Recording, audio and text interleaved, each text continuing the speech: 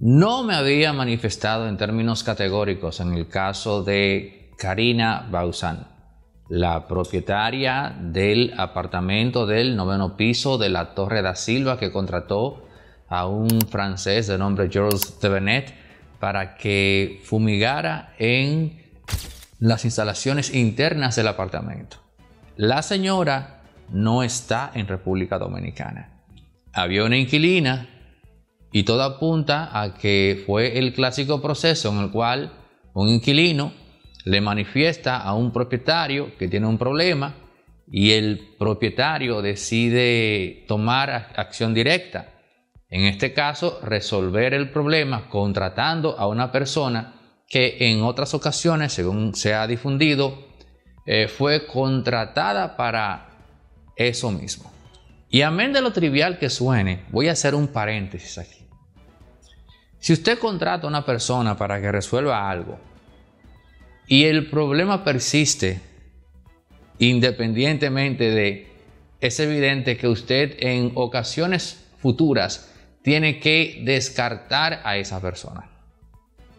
A mí en particular, sin conocer el caso, sin haber hecho una investigación exhaustiva, si me dicen, a él lo han contratado otras veces para eso mismo, en el mismo contexto que también me dicen, la cantidad de frascos que utilizó fue desproporcionada, yo macheo ambas cosas y me digo, el bendito francés en cuestión, a sabiendas de que no había dado pie con bola para resolver el problema, simplemente se decantó por la vía fácil.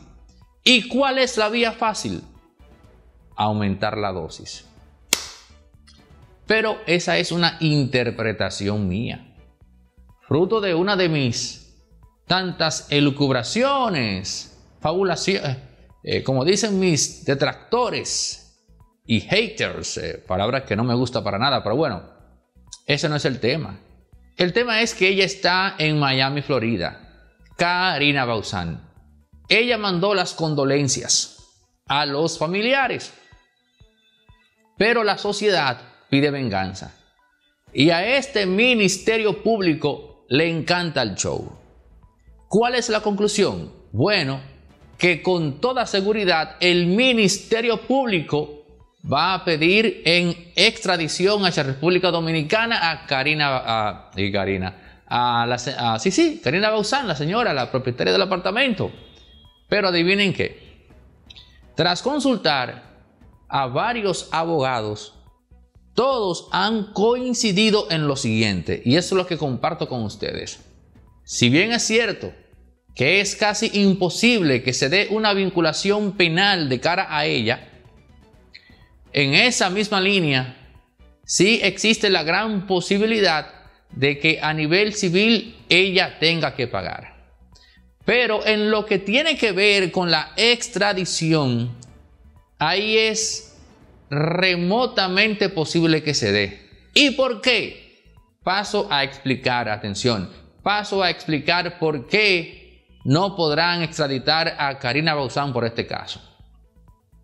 Los acuerdos de extradición entre dos países se suscriben en términos explícitos que no ameritan interpretación y que por lo tanto no pueden ser aprovechados debido a una ambigüedad que no existe, porque son, si se quiere, hasta taxonómicos, son explícitos. No hay margen alguno para interpretar ahí. ¿Y qué significa esto? Que los países que tienen acuerdos o tratados de extradición dicen cosas como, se puede extraditar a una persona acusada de tal cosa, tal cosa, tal cosa, tal cosa. O sea, términos claros, conceptos diáfanos, transparentes, que cualquier persona los decodifica al vuelo. Pero el Ministerio Público la está, tipificó el caso como eh, envenenamiento, intoxicación, en fin, de sustancias químicas. Ahí no hay en sí como tal una acusación de. Y ese documento es el que se presenta en extradición. Pero esa acusación no hace match con ninguno de los términos por los cuales se podría eh, argumentar la extradición de una persona. Ella no está en esos renglones.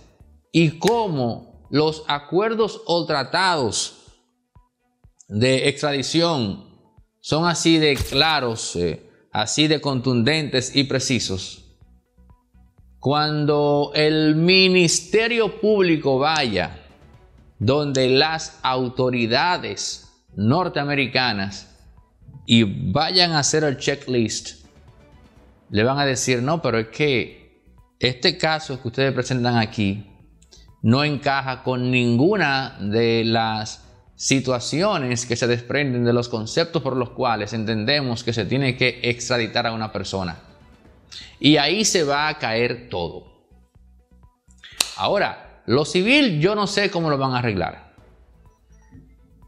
Ahora bien, uno analizando las cosas más allá, incluso de lo que te dicen los profesionales y los expertos, hay algo. Ella es dominicana. Quizás tenga la ciudadanía norteamericana, es residente, no lo sé, no sé en qué situación eh, migratoria está allá, pero voy con lo siguiente. Siendo ella dominicana, podría ser que en su condición de dominicana, la ley o el tratado como tal contemple un tipo de excepción en el cual se permita extraditar a un dominicano desde el suelo norteamericano a su país de origen sobre la base de un simple requerimiento de las autoridades. No estoy al tanto en términos objetivos de que exista eso porque no tenemos a mano eh, ese acuerdo de tratado ahora mismo. Estoy eh, ampliando las cosas. Ahora, lo que sí sabemos, citando acá a expertos en esa materia, es que esos acuerdos de extradición son bastante claros. Ahí no hay ambigüedad, ahí todo está tan, tan, tan. Y una vez tipificado el caso de envenenamiento, intoxicación, eso no es actuación con premeditación y alevosía para exterminar a otra persona. Por lo tanto, se cae el pedido de extradición. Porque eso es lo que sigue. Y eso es lo que ya hemos visto a varios colegas que están hablando de que a esa señora hay que extraditarla. Pero una cosa es el tema de la venganza. La venganza de la sociedad. Y otra cosa que se quedó en el aire es el mal manejo clínico del caso. La familia completa va a un único centro médico con la oportunidad de salvar sus vidas. Y allí los incompetentes que la atendieron, ah, por cierto, que han pagado millones para que no se revele cuál es la clínica. Millones para que no se revele el nombre de esa clínica que está en la Abraham Lincoln y que tiene de primer nombre, a su vez el primer nombre de un candidato presidencial, que supuestamente no está marcando mucho en las encuestas y que tendrá supuestamente que verse obligado a tener que ir con un expresidente. En fin, pero si no quieren decirlo, yo voy a decir el nombre. O ya lo dije, no sé. Entonces, la familia completa va y lo despachan bajo el argumento de que es intoxicación de alimentos, pero incompetentes. ¿Qué va a comer un niño de dos meses? Ese niño, ese bebé de dos meses que está enfermo, es la prueba fehaciente de que no se trata de una intoxicación alimentaria. Pero como ya dije y usted no quiere creerme, que el médico dominicano en lo último que está pensando es en resolverle un problema de salud a usted, el médico dominicano lo que ve es casos, frecuencia, despachar para poder cobrar más y punto. Lo despachan. Y al despacharlos y volver a la casa, se consuma la desgracia. Porque no hubo un médico en emergencia o un enfermero continuo y competente para decir, espérense, espérense, el bebé que no comió de eso también está enfermo. Aquí hay algo más. No, no hicieron eso. Y ese es otro caso. Esta es la oportunidad de oro que tiene la sociedad dominicana para comenzar a criticar en serio el ejercicio de la medicina. Y yo les voy a traer un caso más reciente. Waldo Ariel Suero, pidiéndole categóricamente al Ministerio de Salud Pública que proteja a los médicos por casos que se han dado recientemente de pacientes que han reaccionado violentamente contra los médicos. Y yo hago la pregunta sensata. En vez de tomar a priori esa medida, ¿No es acaso lo pertinente investigar a razón de que esos pacientes están reaccionando de forma airada y vehemente contra los médicos? ¿Se va entonces a accionar contra el, eh, instigador o más, eh, se va a accionar contra quien, quien golpea, ¿no? Y se va a descartar la causa. Eso no es lo sensato. Eso no es lo inteligente. Si existe alguien deshumanizado en este país, es el médico. La clase médica dominicana carece de alma. Claro, no es que eso no tenga solución. Yo dije aquí, acostúmbrese a fidelizarse con su médico. No ande por ahí cambiando de médico en médico. Procure tener un médico de cabecera, un médico de familia, un médico que conozca el historial de su de su progenie, de su familia, no. No esté saltando de médico en médico. Eso es fatal. Una vez usted descubre un médico que se preocupa por los detalles y por las singularidades de su individualidad, usted ha llegado donde un médico acertado. Usted ha llegado a dar con un 20% de eh, con un individuo que pertenece a ese 20% de médicos que hacen una práctica de la medicina humana. Pero el 80% restante son una caterva de pedazos de carne, que no le ven como un ser humano, sino como un número, al que tienen que despachar rápido para atender al otro.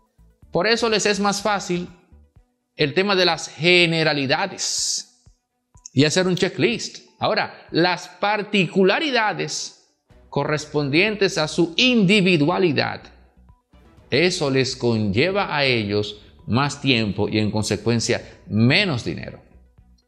Por eso se decantan por el primer modelo. La medicina dominicana carece de alma, carece de empatía al dolor del otro. Esa desgracia se pudo evitar. Tenemos que cargarle, en vez, en vez de pedir el tema de la señora esa que la extraditen, tenemos que estar ahora en el parqueo de la clínica esa de la Abraham Lincoln. Es a ellos a quienes tenemos que exigirle.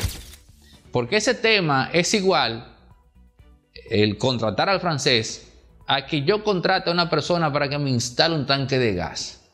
Lo instale mal y luego explote y lamentablemente pierdan personas la vida en ese proceso. Es lo mismo. Ahora, una vez en esa sala de emergencia, esas personas, esa madre, ese niño, o sea, esa madre llevó su niño para ponerse a salvo. Y ellos que estaban obligados a eso en primera instancia, fallaron muy pendejamente. En síntesis, la razón por la que no se puede extraditar a Karina Bauzán es lisa llanamente porque en ese tratado con Estados Unidos no existe término, eh, término alguno al cual se pueda vincular lo que ella hizo. Bueno, gracias por llegar hasta la parte final de este capítulo de Impolíticamente Correcto. Suscríbete, activa la campanita, dale like o dislike, pero sobre todo también de comentar, comparte estos contenidos. Nombre es Ruby Morillo, eh, soy de aquí de La Vega y tengo 25 años. Yo soy estudiante de medicina.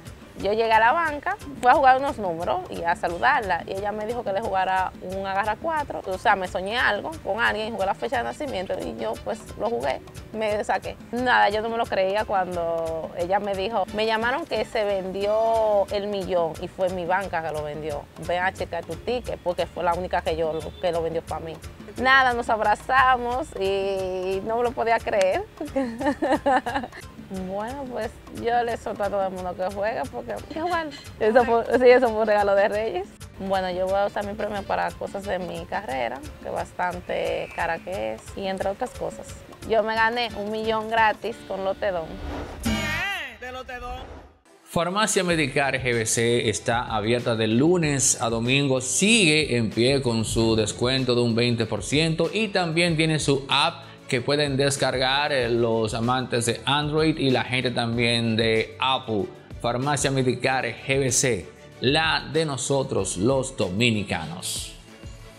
Resorte Media es también productora audiovisual y aquí tenemos espacios eh, rentables para producir contenido, pero también si tu empresa tiene una actividad fuera y va a hacer una transmisión en tiempo real, puedes contar con Resorte Media. También si necesitas alquilar equipos para filmaciones de películas o eventos, tenemos grúas de 40, 20 pies en fin, otra cosa, artista independiente que tiene que hacer un videoclip en calidad 8K, 6K eh, con imágenes eh, de stock, bueno, pues lo podemos hacer acá en circuito cerrado con los presupuestos más competitivos. Pero si también eh, requieres asesoría para la producción de contenidos en plataformas como YouTube, también puedes contar con nosotros. Resorte Media, todo lo que necesitas en todos los ámbitos cuando se trata de producción audiovisual. 829-741-3061. Y otra exhortación muy importante que quiero hacerte, si tienes como meta de principio de año, pues montarte en tu primer carro o cambiar hacer un switch, bueno, pues mira, te hablo de Centro Electronic RD, marca líder en República Dominicana en la importación de vehículos eléctricos, eh, ya sea a nivel individual o para empresas con eh, vehículos medios eh, hasta camiones y también el Avantier que es un auto eléctrico de bajo costo y muy bajo consumo. Y si vas referido por impolíticamente correcto pues tienes un descuento de mil dólares en la compra de cualquier vehículo. A nivel empresarial puedes aprovechar esta oferta porque puedes comprar varios vehículos y aprovechar ese descuento de mil dólares.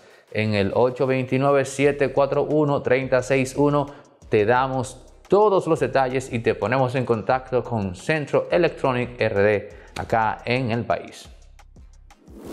Witraton es una marca alemana de equipos de audio que llega al mercado local de la mano de Héctor Popa. Estamos hablando de lo mejor y la más alta fidelidad en equipo de audios para eventos multitudinarios, em, para salones de actos, para discotecas, en fin Allí donde se requiera pues difundir eh, sonido con presencia y cuerpo, pero sobre todo con calidad y nitidez para que esas cualidades no se pierdan en la distancia.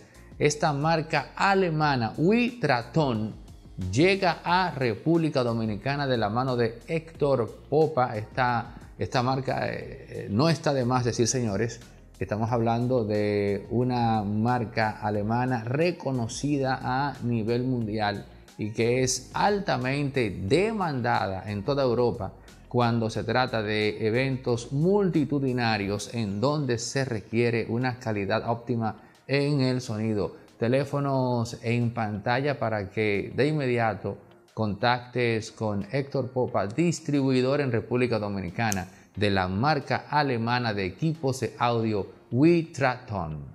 Con Centro Electronic RD, los pioneros en República Dominicana en vehículos eléctricos.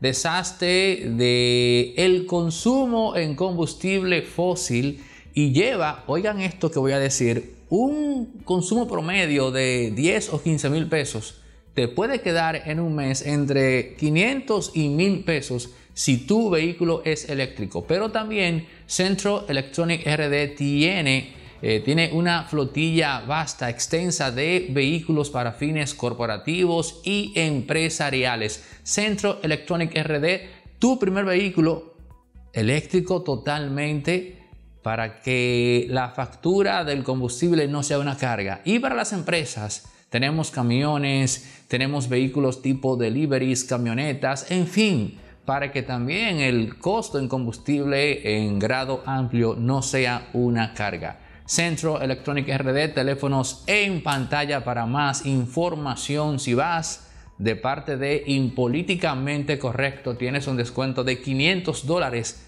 en cada compra.